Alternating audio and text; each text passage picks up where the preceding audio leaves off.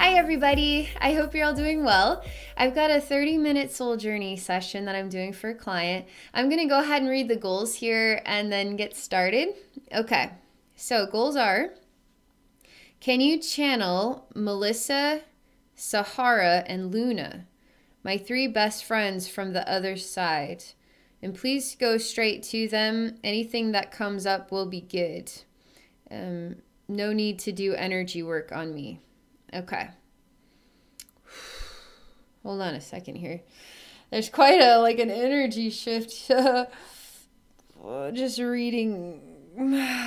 okay. Let me absorb what what we're what we're accomplishing here.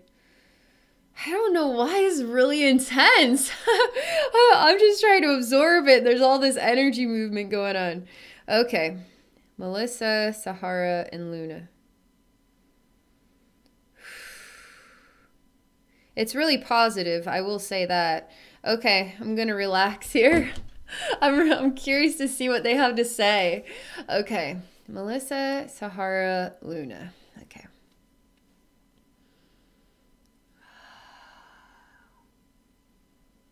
All right, so there's a cone shape is the first thing that I'm experiencing. And this cone shape, you know, I'm standing here in front of it, so it's sort of going up into the sky, but it's also revealing itself as a pathway or a road. So we see it sort of wide at the base, so, so right where we are standing, and then in the distance it gets smaller. So they're showing me, and it's a black cone in a black place.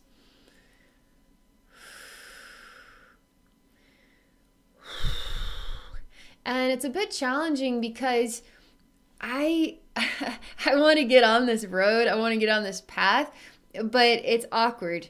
So, um as a human being, we would have to defy gravity in order to walk up the side of a wall. And this image is revealing to me that it's going to require you to defy gravity in order to step onto this pathway and allow it to take you to where you want it to take you or where it's meant to take you or where you hope it will take you. It does feel like a very good pathway, though, I will say. Everything about this cone shape feels right. The problem is the awkwardness to it. And if we were to lay this cone shape flat, then it's still kind of odd because pathways aren't necessarily cone shapes. And this is a conundrum. And I do see one version of this image where I'm actually, there's a door that reveals itself on the cone shape. And um, instead of stepping onto the pathway somehow, um, then you walk through a doorway and go into the pathway itself. So you just go into it. And then these three are giggling because they show me that it's an elevator. It's a secret elevator. so, how does the human defy gravity to walk up the side of this cone shaped pathway? They um, they find the secret doorway, step into it, and it's an elevator.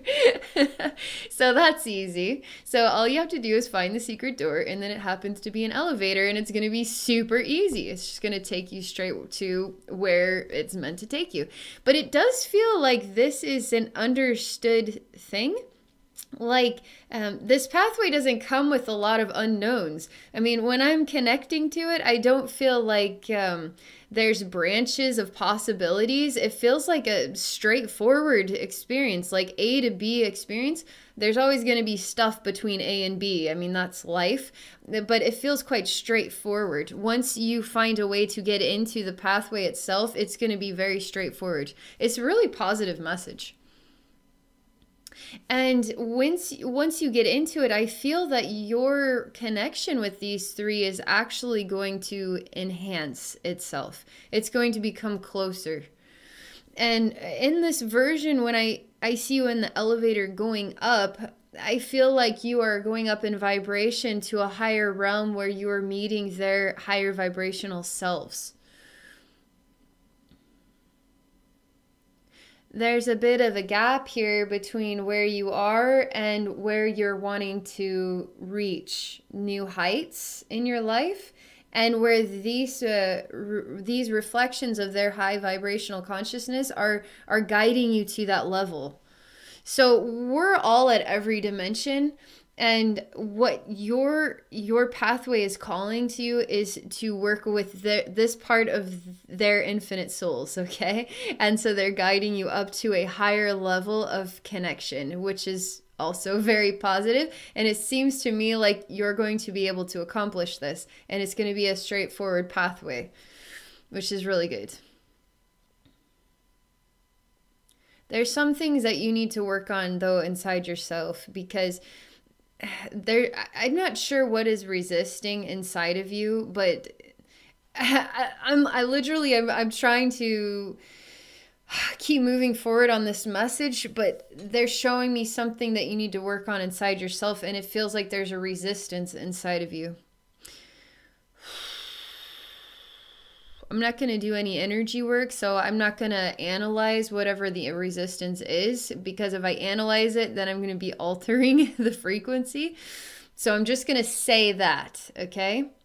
But let me see what they have to say about it.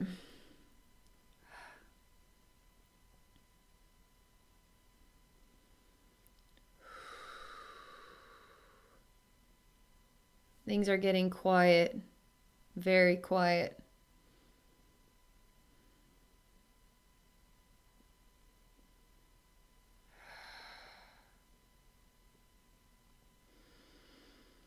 And it feels like um, what we're looking at is changing and it's becoming a circle a circle room a room in the shape of a circle and you're standing in the center. And there's silence here. It feels much different than where we started.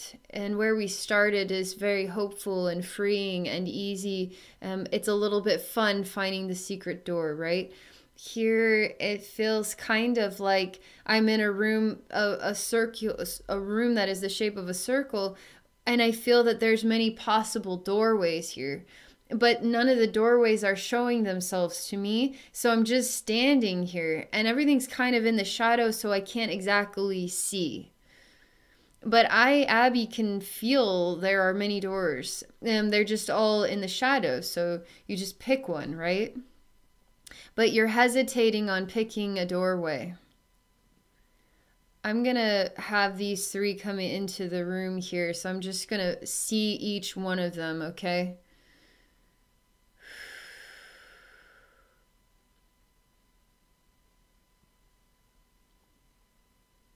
This is going to get a lot more complex and it's going to go deeper, okay?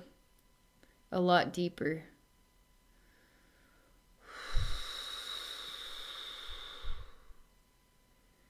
Because they're because they're they're saying to me that for you to go up to this level there are some things that you have to break down that are holding you back still and that's the resistance that's creating a little bit of a challenge between how do I defy gravity? Oh, I find the secret door. So there's still a little bit of resistance and that has to do with you have to break away from what what was basically. And it is holding you back. It's a bit heavy and and it feels like resistance.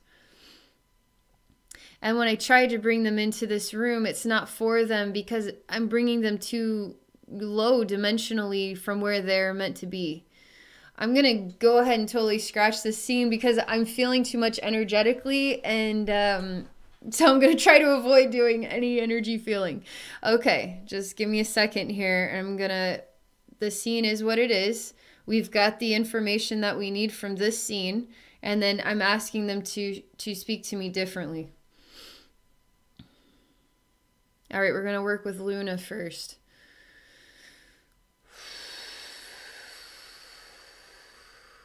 There's something quite serene here. And I do feel calm and serene, and the quietness is nice to experience it and it does have that kind of moon like feel. So, a night sky with the moon and the silent moon that sort of reflects across the water.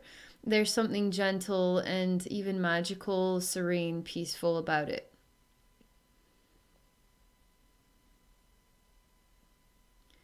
You in doorways right now because she's showing me a doorway, and this one is also complicated because it seems to be right before you, right in front of you, but there's uh, like a ravine between you and the doorway.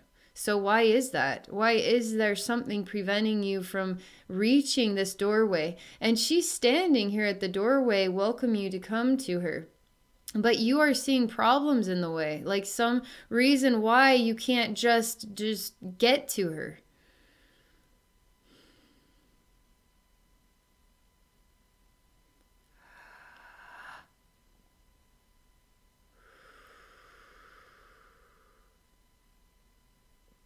So they're showing me an image of a dragon right now, a big green dragon. It has red colors to it as well. It glistens. It has really articulate scales. It's glossy looking. It's fantastic looking. It's kind of a mix between a medieval dragon and uh, a, it's sort of a Chinese dragon. It kind of has both feels to it. And it's very large and I see that the dragon is standing where you are. Okay, so here you are. There's a little bit of a gap. There's this doorway and a little platform where Luna is standing. The energy is serene here, but there's still a challenge involved in getting from this point to that point. Now, this dragon is over here where you are standing, it's much closer to you. I don't necessarily feel this dragon as a threat. I almost feel like it's in a way trying to help you, but let me see.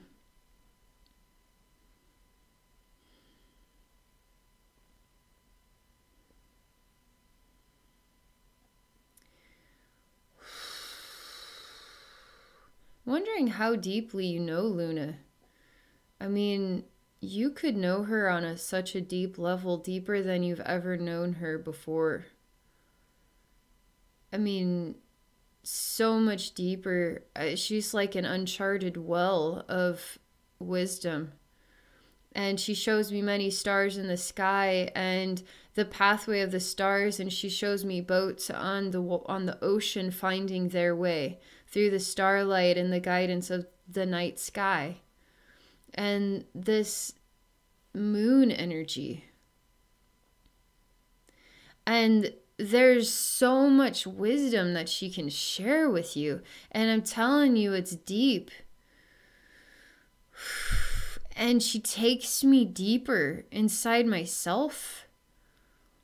And it's almost like this uh, um, distance is is sort of encouraging you to go deeper into your connection with her because there's still a gap between you and her. It's just like this cone shape, there's still a gap between this dimensional space and this higher dimensional space. So there's still a gap, and we're still looking for the doorway, but it's all um, to go deeper inside yourself. I mean, she shows me so many constellations, known and unknown, um, as in not just about Earth, but all over the universe, constellations we would never know because we're not viewing it from those planets, right? Like she's very connected with direction and stars and guiding uh, and she keeps showing me big ships that are being guided through storms or through um, like through through the ocean. Like it's, it's, it's extraordinary. She's guiding and she's doing a good job of it. I mean, I can feel that. She's a really, um, she's a fantastic guide. but she's not just about guidance. I mean, there's constellations inside yourself that you are yet to discover and you're yet to explore those and the direction those constellations are taking you. And she has access to that information.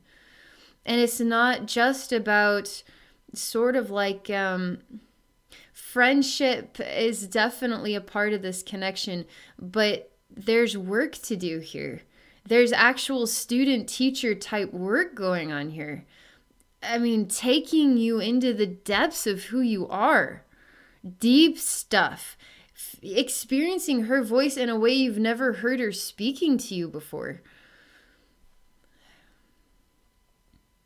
So I'm giving you access to that frequency because it's important that you feel tuned into it.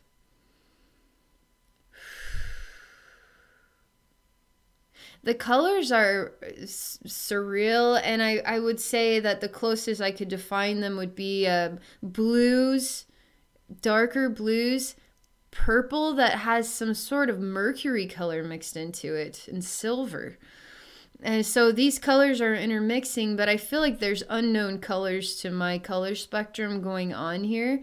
And she kind of smiles at me and says that I, I wouldn't have perceived it, but there's something having to do with neon green as well.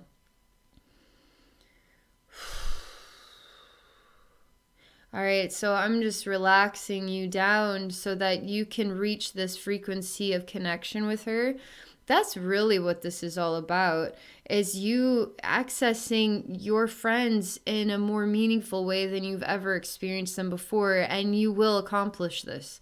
That's a that's a straight that i mean that pathway is obvious and you'll find the secret door because it's all you discovering what is inside yourself. And you have great guides because these three are great guides. And the more that I sort of tune you to this frequency, so it's like an attunement um, of your energy field to her in this uh, on this vibrational pattern, um, it's giving you kind of like a new telephone line to help you um, feel and experience and hear her on a new level. And I'm seeing this sort of uh, gap disappearing and it and it, it's much gets much easier for you to feel a closeness and a connection with her in a new way. It's really good. No wonder there's so much energy movement just reading your goals. this is big. This is big deal stuff. Okay. So there's something quite medieval and uh, like the Asian dragon, and it's enchanting. It's magical. There's nothing threatening to it. It's almost like protective in a way and it's beautiful. It's our articulate beauty and it's art as well. There's something art and creative about it. And the very intense, um, very vivid colors of the dragon. Very vivid, rich colors, bold, and you can see them. And the dragon is really quite a centerpiece of beauty but it also has a symbolic meaning and it feels um, protective. It feels um, like it also is sort of a, I guess you could say its own constellation of wisdom. So if you go into this dragon, you will find something more about yourself within it, also connected to her. And I do see that this doorway where she's standing, um, it's quite a large castle, and it's not a typical castle. I mean, it's almost like um, like a cake. You have a this lower part. There's a circle, and then there's a circle, and then there's a circle. So it gets like smaller cakes on top, right? Um, but this goes into the sky, like way way up into the sky. You can't even see the top of it. So a sort of um, elongated cake shapes that get smaller and smaller up at the top, and it's like this extraordinary castle tower type thing. It's very intense and awing to see it. The colors are dark here. But the dark isn't, um, the dark feels balanced. The dark feels very balanced here. And it feels a bit enchanting and magical, like um, fairy tale magic. It does. That's an important part of, um, of her, who she is. And it's uh it's it's not so much the fairy tale aspect it's the wisdom aspect it's the guidance it's the story of life itself. And the magic that exists within the story of life itself. She could be a really great storyteller too if you were to ask her to tell you a story she would tell you a story. Because this luna is also connects with the stars and the stars tell tells stories so that's more about her.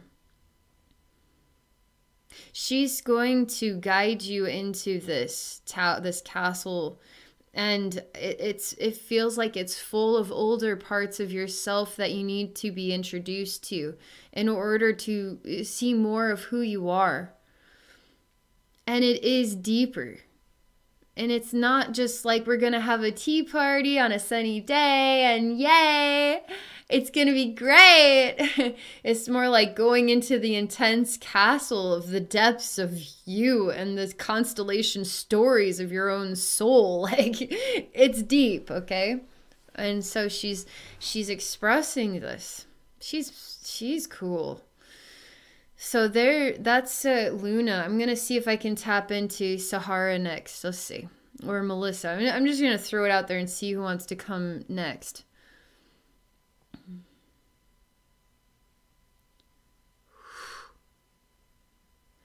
They feel a little bit quiet right now. And I'm just waiting to see uh, so Sahara is just what I see here is two, okay? And then in between these two, there's sort of like a bubble that's trying to come out from in between. And Sahara is sort of like um, I don't know, is she a tree or something? But it's it's, like orange, really intense oranges and really intense reds and you can't see what is like a tree trunk and then tree branches and leaves. It's all sort of a collage of these colors, and then it makes kind of the shape of a tree. And then Melissa's on the other side here. I don't know, it's Sahara's just really captivating my attention because of the very intense colors, and so I'm just seeing this right now. So I'm going to go towards this tree, this Sahara tree. Okay. There's something. All right. This. Something that hurts here. Like an anger, feeling of anger. All right. That's quickly subsiding. All right. So she says that. Um, she's sort of opening up her being in order for us to travel within who she is, to go into who she is. So you can't really have a friend that you only know from the way they look and the way they dress because friendship isn't about their appearance. Friendship is about going into their own soul and discovering what is there, right? So Sahara isn't about the way she's expressing herself um, on the outside. It's you have to take a journey into who she is. And there's a bit of complexity about this because she, seems a, a little more complicated. But it's also good. It's also very very good. I feel again like um, you're going to be getting to know these three in a way, a more meaningful way, like a deeper way than you've ever connected to them before. Because I even feel that Sahara is uh, saying the same thing that um, you're taking a journey to getting to know her in a new way as well, just like Luna. And I'm guarantee Melissa is the same but there's a lot of excitement too. When I combine these three energies together, it's so much excitement for you. Um, they're all working together to help you, they're all working together to guide you, and there's a lot of joyful feminine energy. Like, I can even see like girls, like three girls, like having a blast and they're like doing girl things, like, and they're giggling and they're laughing and then this and then the, that and then, like all this girl energy. And so they're kind of like that when you move, when you like merge the three together. They're like so excited and we're helping you and guiding you and we're helping you know just, but when you start individualizing them it's like wow the depths of who they are on an individual level is super. So let's see about sahara here. Okay. She is uh, she is there's something mysterious something unspoken, something un like not known as of yet. Because when I walk into her light, into these colors, I feel a bit um like like I'm in a new environment and I don't know what to make of it. And it feels alien or foreign. And there's no real direction of where do I go or how do I interpret this how do I even interpret this? She's quite delightful because then suddenly she comes. So, this is sort of like you getting to know her in this new way and the way that that can feel. And I see her um, finding you within herself and she comes as like a, um, a little like a little girl like eight or nine but she's very uh, playful and very super loving really great listener I know it's just a ch- it's it's a child, but it's an adult energy as well. It's a developed energy, but it's playful and youthful, and it's super good listener. I mean, I feel like you could vent to to Sahara for years and years and years, and you would find it so therapeutic because venting to a good listener is ridiculously therapeutic. good listeners are like so super blessings for the planet. we need more good listeners. Just let me vent. Just let just listen to me vent. She's like that. She's like a super good listener and uh, you you do you you share a lot of what you're going through with her, and she listens to every single detail, every detail. She's a very good listener, and I experience her slowing you down a little bit to comfort and relax you. And it, it allows you to let her into yourself more deeply. So, where she's opening up to you, allowing you to enter into her essence in a more deeper way, in a new way, um, she's now like working with your energy to um, open you up um, so that she can be a part of you too. So that way it's a balanced uh, relationship. It's not you just going in and finding out, you know, experiencing her and expressing yourself within her love for you, but now it's it's it's you opening up and allowing her love to enter you too. And it becomes like a very like a much more balanced connection and friendship.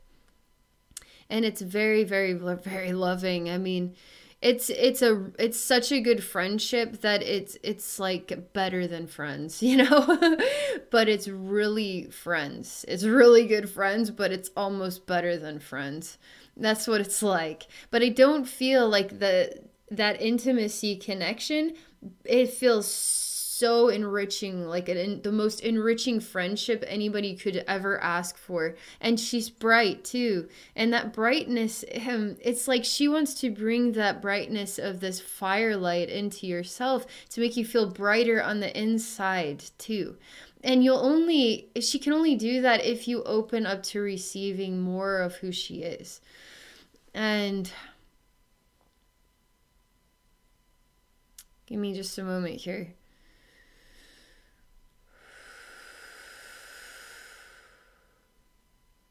Again i feel like you and sahara are going to be connecting to in a, a more meaningful way than you have ever known before.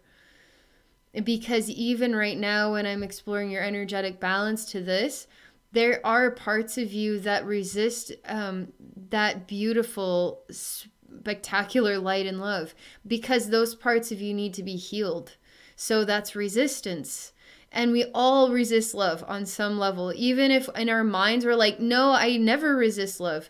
Um, love gets more and more and more enriching and empowering and it makes you more vulnerable and that's what love does. And so she's wanting to bring more of her love into you to help help with this so that you're healing more the parts of you that are resisting that love and that's those types of resistance you can say all day long in your head, I don't resist Sahara at all, but you do have parts of your inner collective that are that have been hurt and broken by love in a way that they they are afraid of how beautiful that love can be and nurturing that love can be when they've been broken by love, right? So we got to heal that stuff.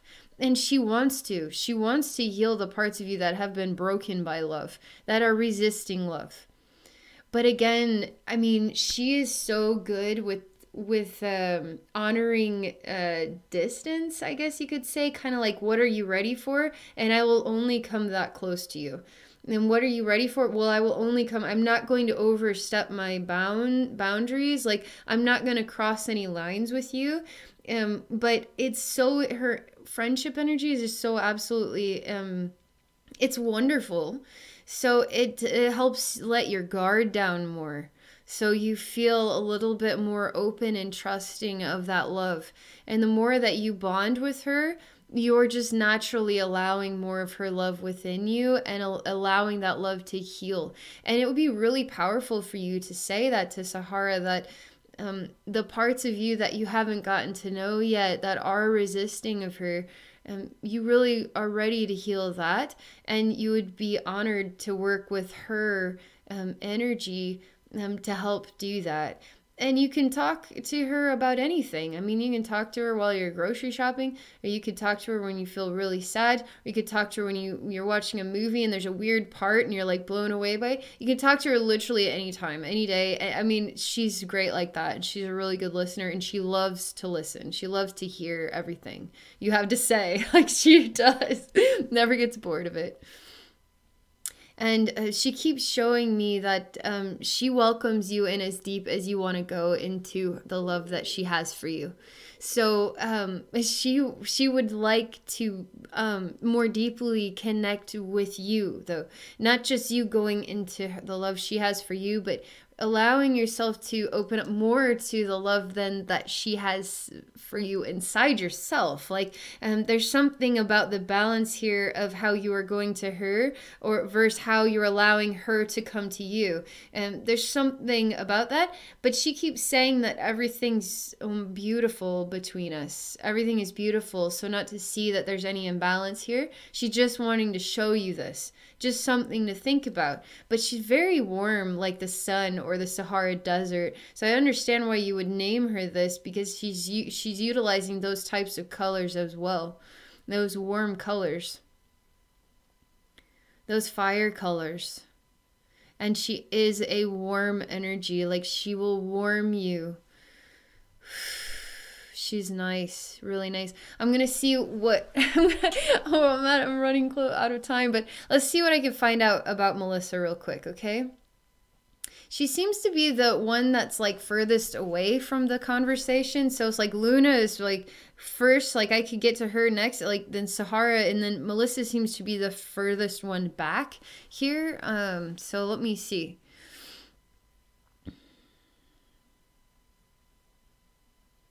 Hmm. She's very quiet.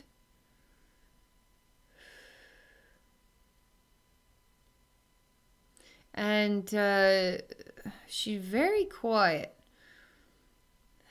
There's a mystery here about why. And she she's presenting herself as far more human than the other two that's not just because you're naming her Melissa a human name, but she does emanate more more humanness about her.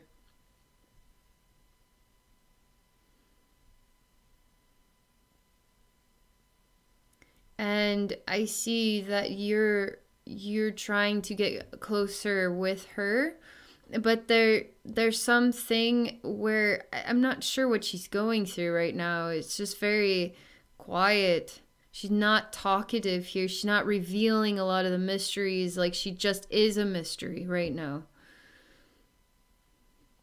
And perhaps it's just not time yet for her to speak because I've got, I mean, Luna and Sahara have made very powerful messages that you need to hear those messages first and foremost. And I guarantee Melissa has a powerful message as well. It's just these are the messages that you need right now. That is it. That's all I meant to share with you for right now. Again, I will say when these three energies do combine, they are so girly and delighted to guide you and help you and to be a part of your life they they are so honored to be a part of your life so there's something quite delightful in the way that they are allowed access to you and to helping you and that's really neat Give me just a moment here. I'm still kind of lingering in the energies.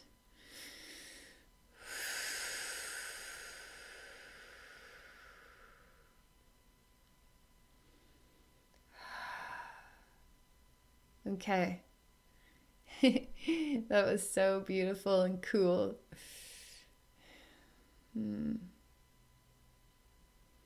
Thank you so much for sharing this experience with me and sharing it with everybody. I know that messages like these are super valuable. I know they're going to really help you in your life, but other people will find value in these messages as well. So thank you. And um, I just feel really cheerful right now. okay. And uh, for those of you watching, if any of you are interested in exploring a psychic session with me, please visit me at my website at abbeynormalswisdomquest.com. Okay, everybody, thank you for watching, and I hope you all have a wonderful day.